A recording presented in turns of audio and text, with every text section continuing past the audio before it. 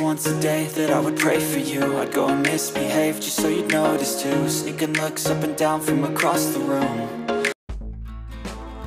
Salam sejahtera Malaysia, salam hiburan semua. Selamat datang ke channel Berita Malaysia. Kini TV ini untuk kupasan berita hiburan terkini. Hari ini apa yang saya ingin kongsikan kepada Anda adalah berita yang dipetik daripada satu sumber murai Sebelum saya teruskan pengungsian pada hari ini, jangan lupa like, share, komen, dan subscribe channel ini supaya Anda tidak akan ketinggalan berita yang saya akan kongsikan kepada Anda semua dari semasa ke semasa. Pelakon Putri Sarah Liana didakwa pernah diceraikan dua kali oleh suaminya juga pengarah terkenal yaitu Samsul Yusuf. Menurut sumber harian Metro, kedua-dua lapas talak itu pernah direkodkan di Mahkamah Syariah Petaling Jaya Selangor. Perkara ini memang berlaku dan ada rekod malah sudah difailkan pada September 2020. Untuk pengesahan lafaz cerai katanya kepada harian Mitra.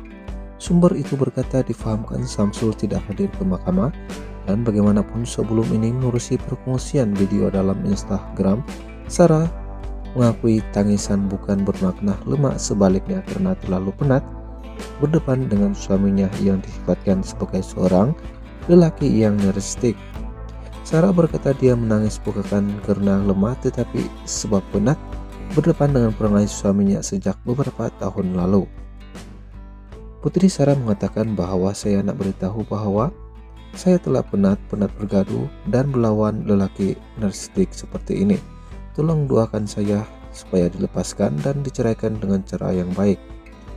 Saya sangat penat sudah berapa tahun tak dilayan sebagai istri tidak mendapat kasih sayang, saya juga punya keinginan untuk bahagia, ingin untuk merasa kasih sayang.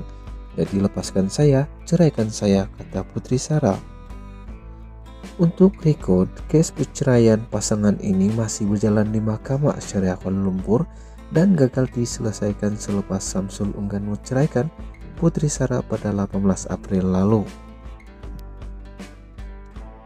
Pergolakan rumah tangga mereka bermula selepas kehadiran pihak ketiga yang didakwa Putri Sarah sebelum ini yaitu Ira Kazar, juga anak kepada pelakon veteran yaitu Kazar Saisi sebelum Samsul mengakui sudah bernikah dengan wanita itu pada awal Januari lalu di Thailand yang disaksikan oleh Kazar Saisi itu sendiri.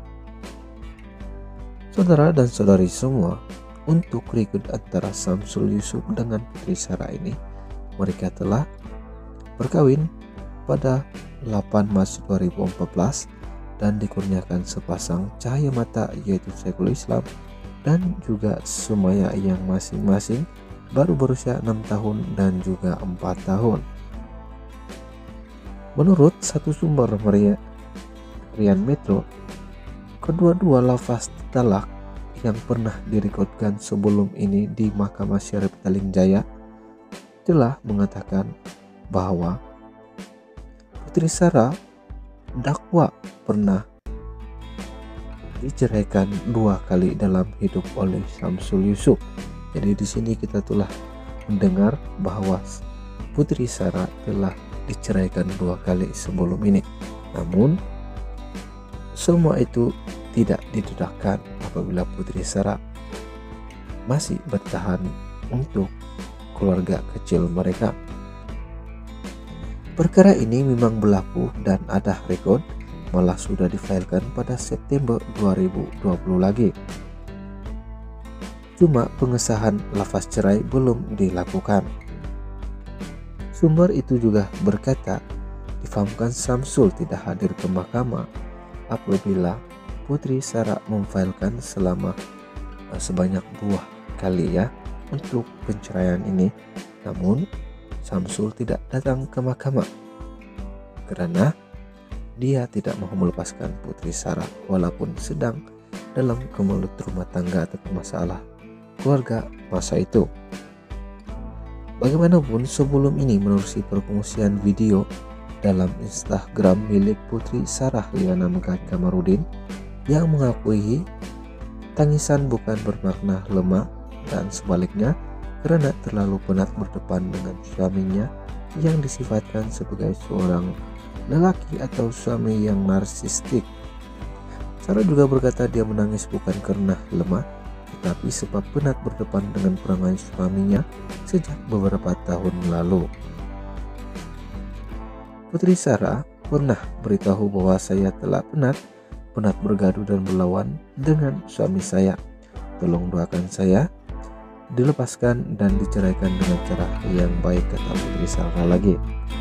Saya sangat penat sudah beberapa tahun untuk tidak dilayan sebagai seorang istri dan tidak mendapat pun sebarang kasih sayang dari suami. Saya juga punya keinginan untuk bahagia, ingin merasa untuk diberi kasih sayang oleh seorang suami.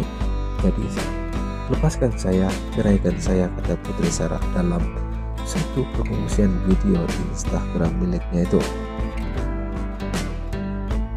Saudara dan saudari semua, sebelum ini case pencarian pasangan ini masih berjalan di Mahkamah Syariah Kuala Lumpur hingga sekarang. Apabila pada 18 April lalu Samsul enggan melepaskan cerai kepada Putri Sarah akibat beberapa terma perjanjian yang telah didakwa diubah oleh pihak Putri Sarah kata Samsul. Dan ia juga mengatakan bahwa Putri Sarah telah mengubah terma perjanjian dengan meminta duit yang terlalu banyak.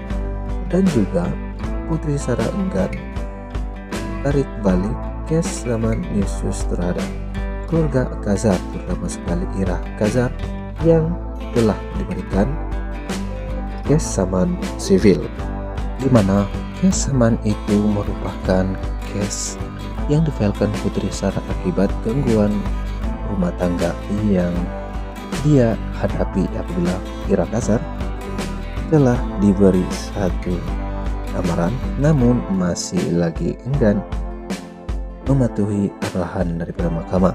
Jadi saudara dan saudari semua demikian saja perkongsian berita hari ini yang saya dapat kongsikan kepada anda semua. Jangan lupa untuk like, share, komen, dan subscribe channel ini dengan menekan butang notifikasi supaya Anda tidak akan ketinggalan berita yang saya akan kongsikan kepada Anda semua dari semasa ke semasa. Dan kepada Anda subscribe channel ini, saya mengucapkan jutaan terima kasih kepada Anda semua. Semoga Anda dan seluruh keluarga Anda diberikan kesehatan yang baik dan dimurahkan rezeki Anda sepanjang tahun 2023 ini dan apa juga pekerjaan yang Anda lakukan Semoga dipermudahkan dan memperoleh hasil yang lumayan dan juga berlipat kali ganda rezeki Anda. Sekian dan terima kasih. Semoga kita berjumpa lagi dalam perkongsian berita selanjutnya.